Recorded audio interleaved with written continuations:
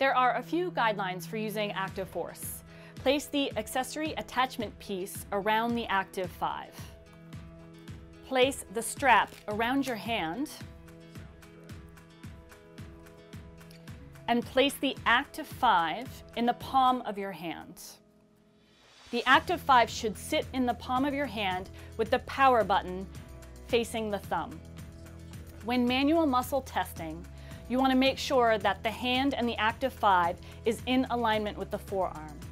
So you don't want your wrist to break to protect your wrist after manual muscle testing. For example, in shoulder flexion, we test with the Activ5 in hand in alignment with the forearm. So you don't want to break the wrist. Another example, can you side bend your head to the left? Good. We test with alignment of the forearm, the hand, and the active 5. So we don't want to break that wrist. One more example, to test knee extension, straighten this left leg and hold that position. We want to test with that alignment in mind. We don't want to break the wrist. Following these guidelines will create consistent manual muscle testing results and a good experience for the testee and the tester.